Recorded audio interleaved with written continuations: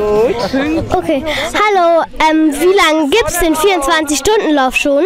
Ah ja, da ist jetzt das zehnte Mal in diesem Jahr. Wir haben also Premiere, zehntes Mal. Okay. Und ähm, laufen Sie hier auch beim 24-Stunden-Lauf mit? Nein, ich laufe nicht. Ich werde den Startschuss geben und manchmal komme ich auch zur Siegerehrung, aber ich bin keine Läuferin. Okay. Fällt Ihnen ein Kinderrecht ein? Also dazu gehört das Recht auf Unversehrtheit und das ist ein ganz, ganz zentrales und wichtiges Recht. Und mir gefällt hier bei dem äh, 24-Stunden-Lauf sehr, dass all die hier laufen und auch in den letzten zehn Jahren gelaufen sind, über 200 Projekte mit und für Kinder finanziert haben. Und das ist sehr, sehr viel. Okay, ja. Okay, danke für Ihr Interview. Bitte schön.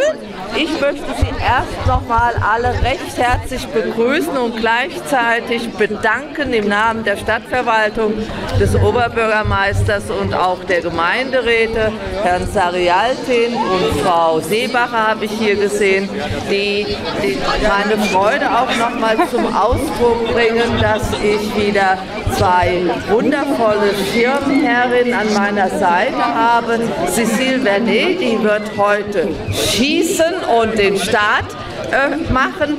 Und Frau Weffelnberg, die als Extremsportlerin 24 Stunden alleine laufen wird. Und das macht sie schon seitdem es diesen Lauf gibt. Und das ist ein Applaus wert.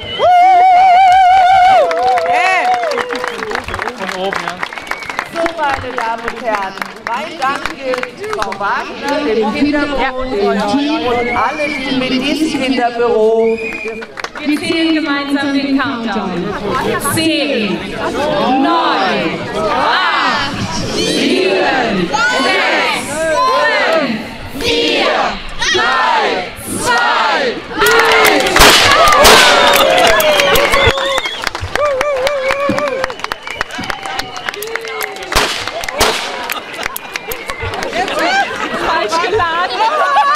Ähm,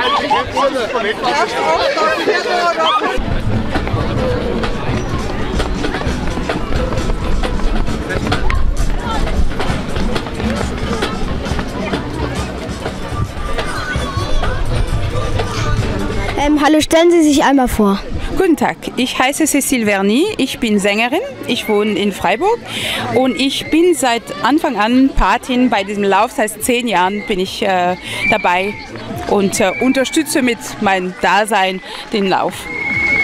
Okay, ähm, also in welcher Band spielen Sie? Ich habe eine eigene Band, die trägt meinen Namen, die heißt Cécile Verny Quartett und ich bin Jazzsängerin. Okay, ähm, welche Musik machen Sie so? Jazz, Jazz. Hast du schon mal davon gehört? Nee, noch nicht. Wir müssen mal kommen. Wir haben ein Konzert immer Sonntag vor Weihnachten, nachmittags. Dann müssen wir mal kommen und hören, was wir machen. Wie wäre das? Ja. Ja? Ja, können wir voneinander lernen. Klar, dass es ein großes Glück ist, dass wir in Freiburg sowas wie ein Kinderbüro haben, dass es Ja. nicht überall sowas gibt. Ja, das ist sehr gut, ja. Ja. Und habt ihr gesagt, es gibt viele Länder, wo die Kinder nicht ihre Rechte nicht so vertreten können, wie wir Ja. das hier in, in Deutschland bzw. hier in Freiburg haben. Und was, was habt ihr noch gelernt über Kinderrechte? Also wir haben jetzt eigentlich, weil hier machen wir ja den Film ähm, und da haben wir eigentlich nur darüber gesprochen und haben da, ja, Und findet ihr das auch eine gute Sache? ja, Und werdet ihr auch alle laufen? ja, also ich, Ja. ähm, also ich glaube wahrscheinlich schon. Du glaubst wahrscheinlich schon. Ja. Dann wünsche ich viel Spaß beim Lauf. Okay. Okay, laufen Sie denn auch? Dieses Jahr nicht. Ich bin vor ein paar Jahren mitgelaufen, aber es ist oft so, ich weiß nie vorher, ob ich da bin, weil ich oft am Wochenende Auftritte habe und dann möchte ich mich nicht anmelden und im, am Endeffekt äh, absagen müssen. Aber ich spiele immer wieder mit dem Gedanken, dass ich nicht nur hier komme zum Startschuss geben, sondern aber heute Morgen war schon joggen eineinhalb Stunden. Also siehst du, dass ich nicht laufe. Okay. Ähm, danke für das Interview. Vielen Dank und viel Spaß hier.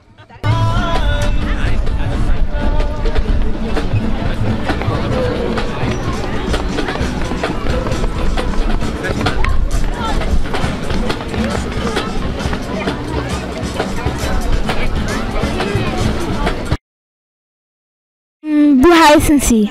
Ich heiße Andrea. Ähm, was finden Sie so an dem 24-Stunden-Lauf so schön? Was ich gut finde, oder wie meinst du? Ähm, Ich finde schön, dass so viele Kinder für ihre Kinderrechte laufen. Warum ist der 24-Stunden-Lauf hier beim Seepark? Weil das das schönste Stadion ist in der Stadt Freiburg. Und weil der See so nah ist und im Sommer, wenn es ganz warm ist, kann man dann auch schwimmen. Ganz Ihrer Meinung. Was ist Ihr Lieblingsbuch? Äh, mein Lieblingsbuch ist Pippi Langstrumpf. Ähm, kennen Sie noch ein anderes Kinderrecht? Ja, ich habe sogar ein Lieblingsrecht. Das ist das Recht auf freie Meinungsäußerung. Cool. Ähm, wie ist Ihr Lieblingsfilm? Wie heißt der? Ui, warte mal. Naja, also das sage ich jetzt einfach. Ich glaube, es ist noch nicht mein Lieblingsfilm, aber den, den ich gerade erst gesehen habe, das war der Lego-Film. Der Lego Movie. Der Lego Movie, ja. Laufen Sie hier mit? Ja, ich veranstalte diesen Lauf und ich habe aber auch ein Laufteam und das heißt, das Kinderbüro und Kinderbeirat Laufteam und dann laufe ich auch in der Nacht. Läufst du auch? Ich laufe von 5 Uhr bis um 19 Uhr, glaube ich. Das ist lange. Also, dann bedanken wir uns und tschüss. Äh, danke. Tschüss.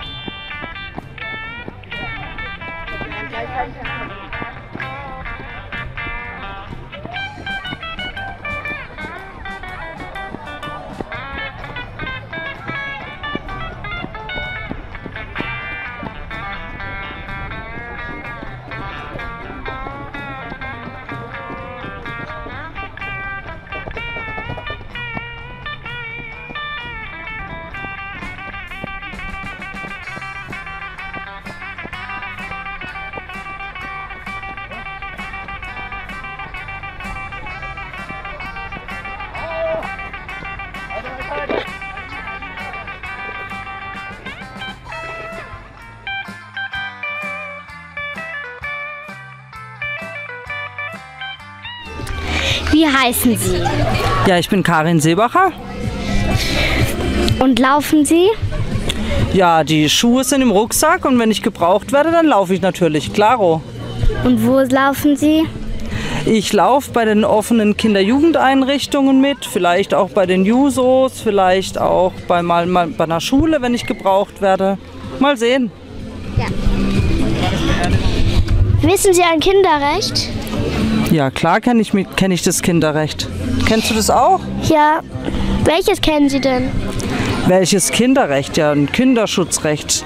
Jedes Kind hat das Recht äh, auf Freiheit und dass es nicht geschlagen wird. Und deswegen machen wir das ja auch hier.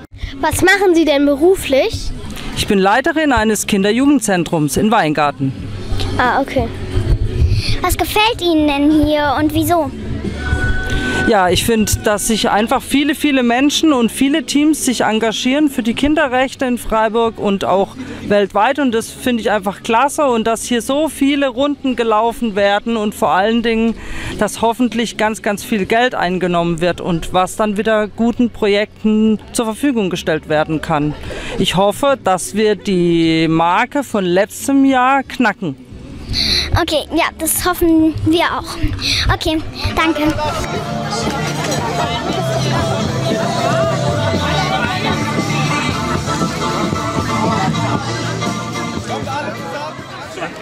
relativ ruhig halten. Wenn es geht beim Laufen, ist es schwierig.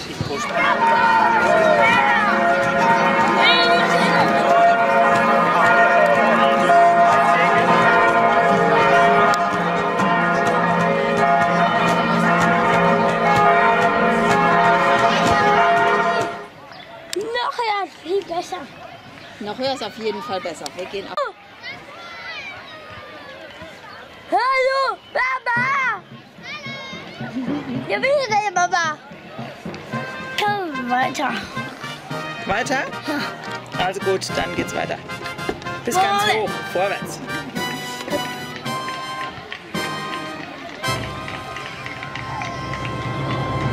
Nicht gemacht. Für wen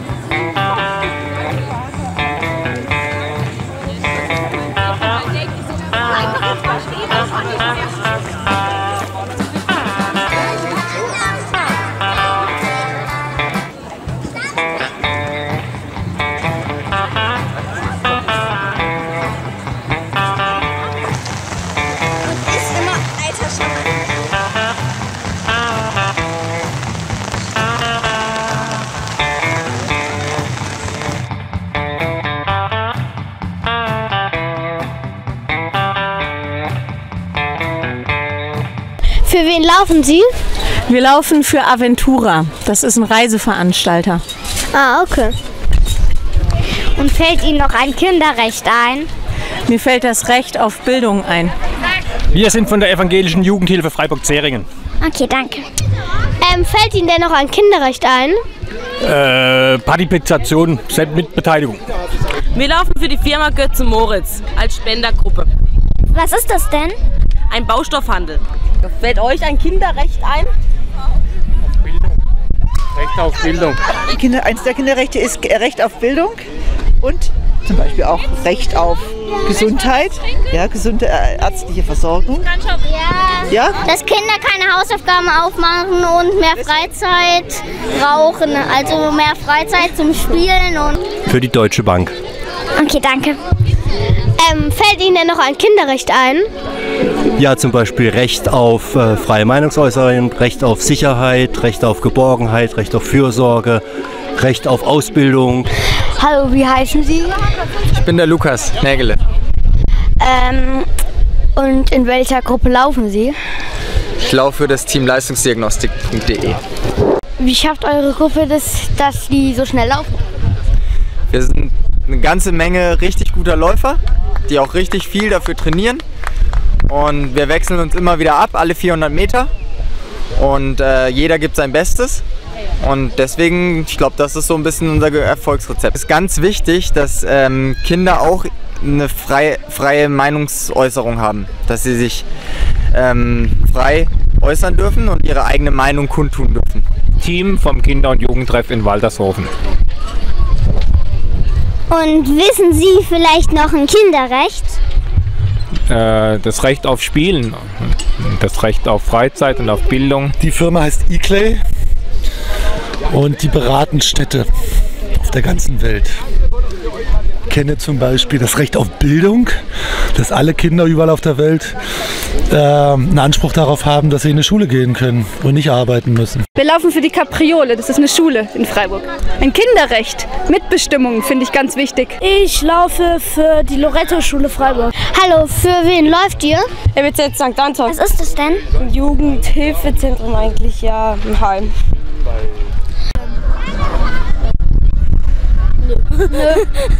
Albert Schweitzer Gymnasium. Ähm, und wisst ihr ein Kinderrecht? Äh, Recht auf Bildung. Recht auf So, wir sind jetzt schon seit zehn Jahren unter den ersten dreien. Jedes Mal auf dem Podest. Aber leider haben wir noch nie gewonnen. Man braucht auch Freizeit. Hallo, wollen Sie sich mal kurz vorstellen? Ja, ich bin Ulrich von Kirchbach und ich bin Sozial- und Kulturbürgermeister der Stadt Freiburg und ich habe zwei Kinder, bin verheiratet und bin Ende 50. Ah, okay. Ähm, was, also, gefällt es Ihnen denn hier und was ist hier Ihnen so wichtig? Also mir gefällt es hier sehr gut. Ich war vom ersten Kinderlauf mit dabei, bin immer mitgelaufen, habe manchmal die Schirmherrschaft gehabt, weil ich war eine Zeit lang fürs Kinderbüro zuständig und ich finde es ganz toll, weil nämlich die Runden, die gelaufen werden, da gibt es ja immer Geld und das Geld kommt äh, Projekten zugute, die für Kinder und Jugendliche sind. Und da kommen immer so 30.000 Euro zusammen, da kann man ganz viel bewegen in Freiburg. Ja. Okay. Ähm, in welcher Gruppe laufen Sie? Ich bin jetzt fürs Kinderbüro mitgelaufen, ich bin für Finn gelaufen, Familien in Not, ich bin jetzt auch für die Jusos gelaufen. Das ist eine Ah. politische Jugendorganisation der SPD. Also man könnte eigentlich für alle Gruppierungen hier laufen. Ne? Ich finde alle, die mitmachen, die machen gute Arbeit, arbeiten ehrenamtlich und es ist ganz toll, was die machen. Aber ich kann mich natürlich nicht, ich kann mich natürlich nicht zerreißen, kann natürlich nicht für 30 Gruppierungen laufen. Das würde mich überfordern. Ja. Haben Sie heute denn schon irgendwas Aufregendes, Aufregendes erlebt oder sowas? Ja, ich war beim Afrika-Fest und äh, da haben die befürchtet, dass es gleich regnet, aber da ging es doch gut und wir konnten die Öffnung im Freien halten und es kamen auch viele Leute. Okay. Ähm, fällt Ihnen denn ein Kinderrecht ein? Kinderrecht, ja klar, Recht auf Bildung, Recht auf Gesundheit, Recht auf Spielen. Ja. Oder seit wie vielen Jahren gibt es den 24-Stunden-Lauf schon? Den 24-Stunden-Lauf gibt es jetzt schon über, den gibt's jetzt schon über zehn Jahre. Ich glaube, das elfte, das elfte Jahr, ich bin mir jetzt auch nicht mehr so sicher, aber über zehn Jahre auf jeden Fall. Und ich denke mal, der wird auch noch, ähm, der wird es ja noch ein paar Jahre weitergeben. Der hat einmal in Karlsruhe angefangen, dann war Freiburg und Stuttgart die zweite Stadt in Baden-Württemberg.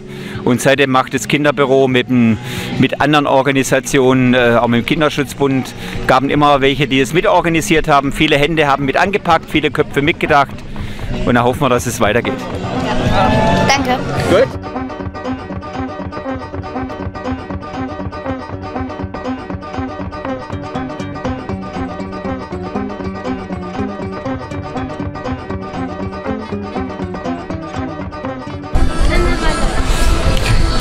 Ist der 24-Stunden-Lauf fast am Ende und jetzt wollen wir noch mal ein paar Leute oder jemanden vom Roten Kreuz fragen, ähm, ja, ob alles gut gelaufen ist.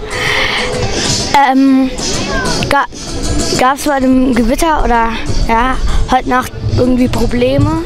Nee, gab es soweit keine Probleme. Also es hat durch den Wind halt die Zelte relativ weggeweht, aber die haben wir Gott sei Dank festgemacht, aber verletzungsmäßig ist nichts passiert dadurch. Ähm, wieso kamen die Leute manchmal zu euch? Unterschiedliche Sachen. Also einmal haben sie Blasen gehabt wegen, äh, zu, äh, wegen neuen Schuhen oder weil sie barfuß gelaufen sind oder Bienenstiche oder haben sich irgendwo geschnitten. Also es sind die verschiedensten Sachen gewesen. Es ist immer was los.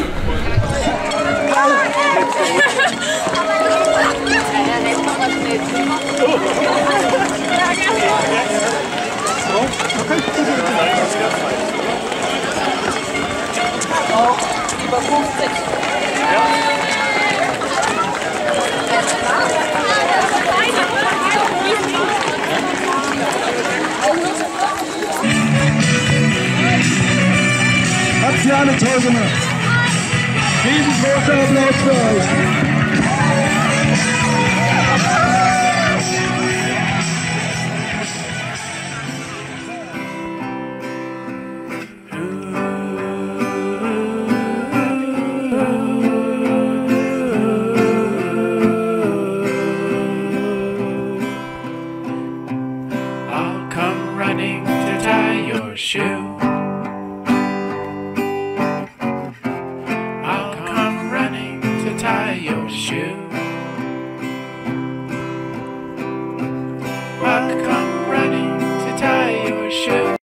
Läuferinnen, liebe Läufer, schön, dass Sie ausgeharrt haben, dass ihr ausgeharrt habt trotz Regen. Jetzt kommen wir endlich zur Siegerehrung. Ich will, äh, bevor wir die Siegerehrung machen, nochmal Dank sagen an alle Läuferinnen und Läufer, vor allem für das Spendensammeln. 43 Teams haben sich angemeldet, das ist wieder ein ganz tolles Ergebnis. Danke an alle, die mit dabei waren. Nächster Platz. Maria Montessori Schule.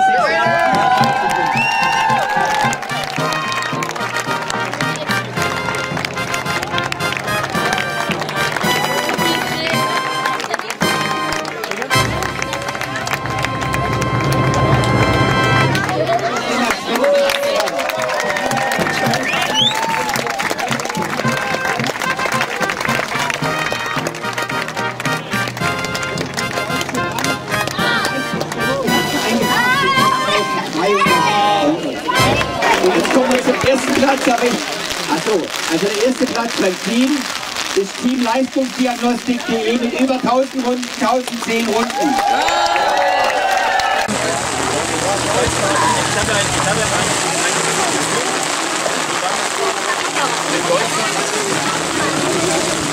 Bon.